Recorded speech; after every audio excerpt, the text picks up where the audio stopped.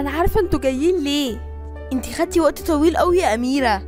أنتوا عارفين موضوع إنكم تكفلوا طفل ده مش سهل والأوراق بتاعته كتير جدا. وبعدين إحنا ما عدناش في الدار هنا أي أطفال. فكده كده لازم تستنوا. ما انتي عارفة يا أميرة إحنا مش بنخلف ودار الرعاية دي أملنا الوحيد. ما تقلقش يا محمود أنت ابن عمي وأنا بهتم بمصلحتك. وصدقني أول ما يتوفر عندنا أطفال هكلمك على طول. وأنا متأكدة أي طفل هيعيش معاكم هيبقى مبسوط وهيحبكم جدا. شكرا يا أميرة. هستنى تليفونك.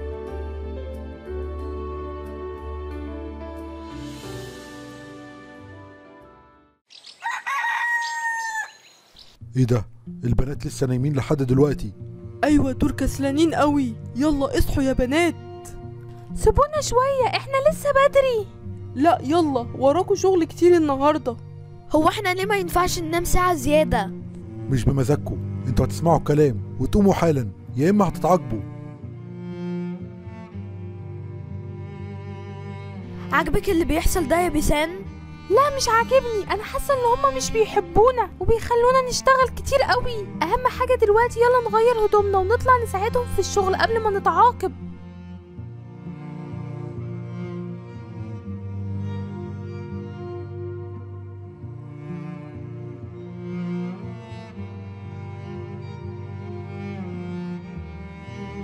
على فكرة إحنا خلصنا الفلوس بتاعتنا. كده ما قدامناش غير إن إحنا ناخد البنات وننزل المدينة. أكيد هيصعبوا على الناس هناك وهيدولنا فلوس. أيوه لازم نعمل كده عشان نعمل شوية تجديدات في البيت وكمان نجيب أكل ولبس جديد. أيوه البنات لازم يساعدونا زي ما إحنا ساعدناهم طول عمرهم. ريمان إيه رأيك نروح نتكلم مع تيتا وجدو ونسألهم هما بيعاملونا وحش ليه؟ مش دلوقتي بعد الغدا. علشان ممكن يتضايقوا وما يرضوش يخلونا نتغدى. أيوه عندك حق.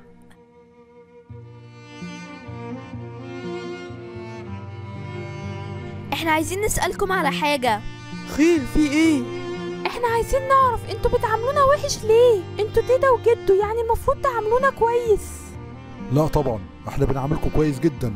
أنتوا عمركم ما ضحكتوا ولا هزرتوا معانا ولا حتى بتضحكوا في وشنا. أيوه كل حاجة شغل شغل بس. عمركم ما فسحتونا ولا خرجتونا في أي مكان. علشان تعرفوا إن إحنا كنا بنعاملكم كويس من النهارده المعاملة هتختلف. أنتوا اللي هتنضفوا البيت وتعملوا الأكل كل يوم. بس يا تيتا إحنا بنتعب قوي في الشغل طول اليوم. كمان هننضف ونطبخ. أيوه ده مش عدل. إحنا لسه صغيرين على الكلام ده. إحنا كبار في السن. وانتوا اللي لازم تساعدونا. جه الوقت اللي إحنا نستريح. وانتوا اللي تعملوا كل حاجة.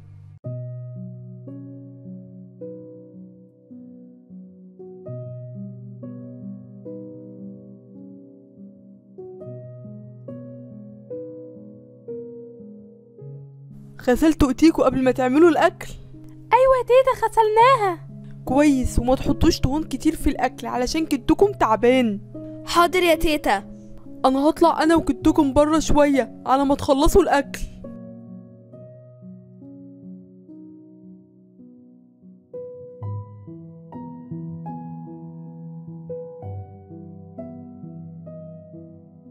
البنات بدأوا يسألوا أسئلة كتير قوي. مش مهم أهم حاجة ما نجاوبهمش ولا نقول لهم الحقيقة. مش معقول هنقول لهم إن من يوم ولادتهم وحياتنا اتغيرت. بنتنا الوحيدة ماتت وهي بتخلفهم ومن ساعتها وإحنا عايشين حياة صعبة. عندك حق. أنا كل ما بشوفهم بيفكروني ببنتنا وبكرههم أكتر. أنا نفسي يكبروا بقى ويعتمدوا على نفسهم ويسيبونا ويمشوا. أخيرا عرفنا هما بيكرهونا ليه. أيوه مع إن إحنا ملناش ذنب في اللي حصل ده.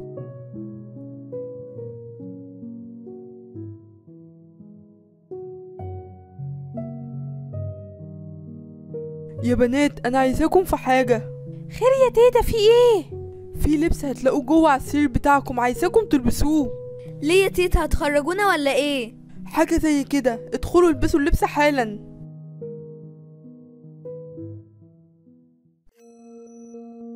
هو ده اللبس اللي إحنا هنلبسه؟ أيوة إحنا مش خارجين نلعب. إحنا رايحين المدينة عشان الناس تساعدنا بفلوس فلازم تصعبوا عليهم. إحنا مش فاهمين حاجة. إحنا هنروح المدينة وكل واحد هيقعد في مكان وهتبدأوا تطلبوا من الناس فلوس. إيه ده؟ هنشحت أيوه إحنا محتاجين فلوس الفترة دي كتير جدا. ولما الناس تشوفكم باللبس ده أكيد هيساعدونا. عايزاكم تمثلوا إن أنتوا بتعيطوا علشان الناس تتعاطف معاكم ويديكوا فلوس أكتر. أيوه واوعوا تتكلموا مع حد غريب خالص. اعتبروا اللي إحنا نازلينه ده شغل. فاهمين ولا لأ؟ فاهمين. طيب أنتوا هتكونوا معانا؟ أيوه بس هنكون بعيد عنكم شوية. يلا عشان نمشي دلوقتي عشان نلحق نروح المدينة.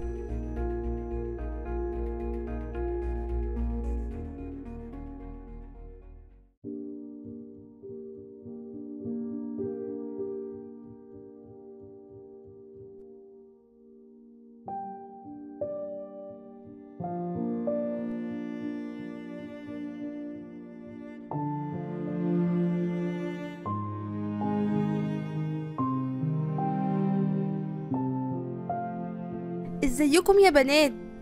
أهلا إزيك؟ هتساعدينا ماشي بس الأول عايز أعرف أنتوا أساميكم إيه؟ أنا اسمي بيسان. وأنا اسمي ريمان الله أساميكم حلوة قوي بس أنتوا بتعملوا إيه هنا؟ إحنا بنطلب من الناس إنها تساعدنا بأي فلوس علشان نقدر نشتري أكل ولبس.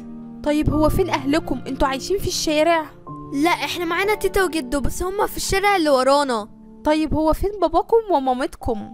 ماما ماتت وهي بتخلفنا وبابا مات بعدها على طول.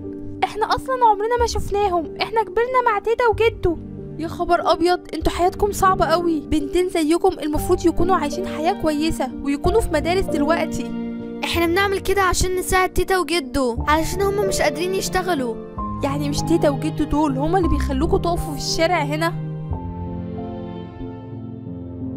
هما بيعاملونا كويس ما يعرفوش إن إحنا بنعمل كده. إحنا بنحاول نساعدهم من غير ما يعرفوا. ماشي يا حبايبي أنا هدخل السوبر ماركت أجيب لكم أكل كتير قوي عشان تاخدوه معاكم. الست دي شكلها طيبة قوي. إيه ده؟ الست دي وقفت تتكلم مع البنات كتير قوي. لما نرجع البيت لازم نعرف هما كانوا بيتكلموا في إيه. أنا عايز أعرف الست اللي كانت واقفة معاكم كانت بتكلمكم في إيه؟ مفيش حاجة يا تيتا كانت بتسألنا أنتوا كويسين ولا لأ؟ وجابت لنا حاجات من السوبر ماركت وجبناها لكم هنا. وأنتوا رديتوا عليها وقلتوا إيه؟ قلنا إن إحنا كويسين ومش محتاجين حاجة. ماشي بعد كده مش عايزاكم تتكلموا مع حد وأوعوا تقولوا لحد اللي إحنا بنعاملكم وحش. لا طبعا عمرنا ما هنقول كده. ماشي يلا روحوا ناموا علشان هنروح بكرة نفس المكان.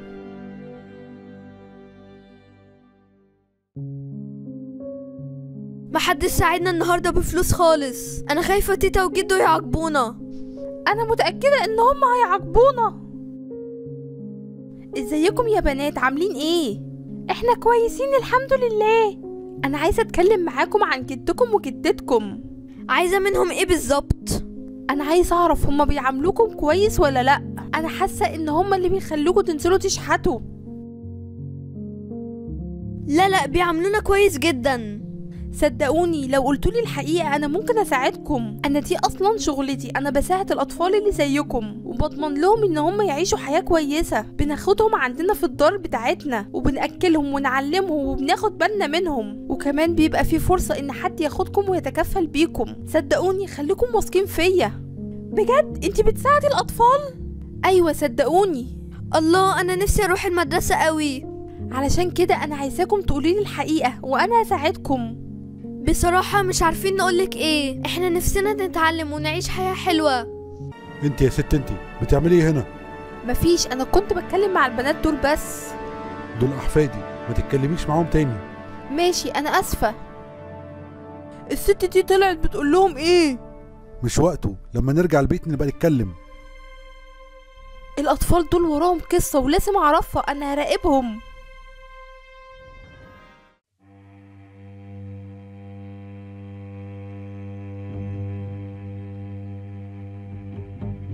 أنتوا متأكدين ان أنتوا ما قلتوش اي حاجة للست اللي كانت واقفة معاكوا؟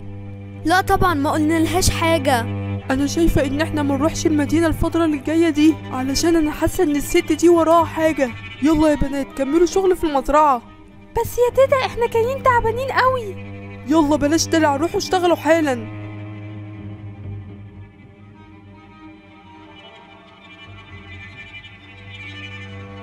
يا نهار أبيض دول بيشغلوهم في المزرعة كمان.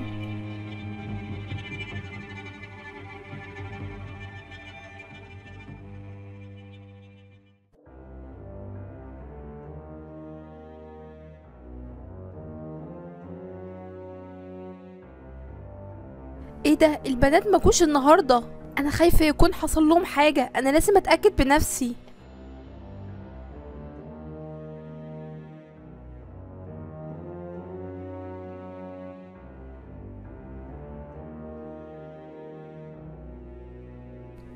إيه ده؟ الناس دول بيستغلوا البنتين. أنا لازم أتدخل. مش هينفع اللي أنا بشوفه ده.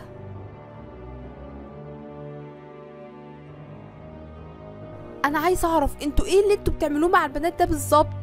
انت مين؟ وبتعملي إيه في البيت بتاعنا؟ بصراحة البنات دول صعبانين عليا. بتخليهم يشتغلوا في الأرض بتاعتكم وأيام تانية بتخليهم ينزلوا المدينة يشحتوا. وانت مالك انت؟ أنا مش عارفة أنتوا بتعملوا كده ليه. البنات دول المفروض يكونوا في المدرسة دلوقتي لكن أنتوا كده بتعذبوهم. انت ممكن تسألي البنات وهم هيقولوا لك الحقيقة. إحنا بنعاملهم كويس جدا. يا بنات قولوا الحقيقة وما تخافوش. الناس دول بيخلوكوا تشتغلوا بالعافية. بصراحة إحنا مش هنكذب تاني. بس يا بنت. أيوه بيخلونا نشتغل بالعافية. وبيخلونا نجمع لهم فلوس. ده كله عشان مش بيحبونا. أيوه علشان ماما ماتت وهي بتخلفنا. إيه ده؟ أنتوا عرفتوا الموضوع ده إزاي؟ إحنا سمعناكم وأنتوا بتتكلموا. أنتوا أكيد ما عندكمش قلب. تعملوا كده في أحفادكم. أيوه. هي السبب في موت بنتنا. بنتنا ماتت وهي عندها عشرين سنة. ده مش ذنبهم دي حاجة بتاعت ربنا. أنا هاخدهم عندي دار الرعاية علشان أنتوا ما تستاهلوش البنات دول. وانت مين انت علشان تقولي لنا نعمل إيه وما نعملش إيه؟ أنا شغالة أخصائية اجتماعية تبع الدولة وأنا اللي بقرر الأطفال الصغيرين عايشين في أمان ولا لأ؟ ولازم أساعدهم وأخليهم يعيشوا في بيئة كويسة. أكيد عندي هيلاقوا الحب اللي هم محرومين منه. لا طبعا إحنا استحالة نسيب البنات دول. قدامكم حاجة من الاتنين. يا تسيبوا البنات بمزاجكم يا إما هتصل بالبوليس وأخدهم غصب عنكم. قدامكم دقيقة تفكروا.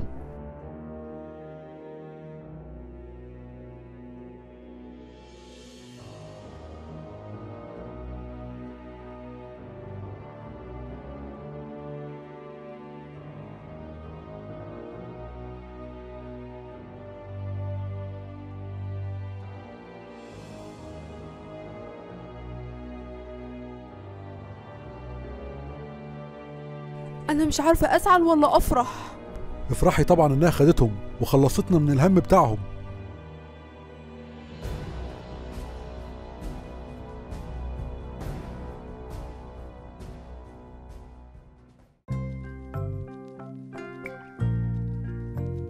الله شكلكم بقى جميل قوي. إحنا متشكرين قوي اللي انت جبت لنا اللبس الجميل ده. بس إحنا عايزين نعرف إحنا هنعيش هنا على طول؟ لا أنا لقيت لكم أب وأم هتعيشوا معاهم وهيحبوكم قوي. موافقين ولا لا؟ كويس على العموم هم هيجوا دلوقتي.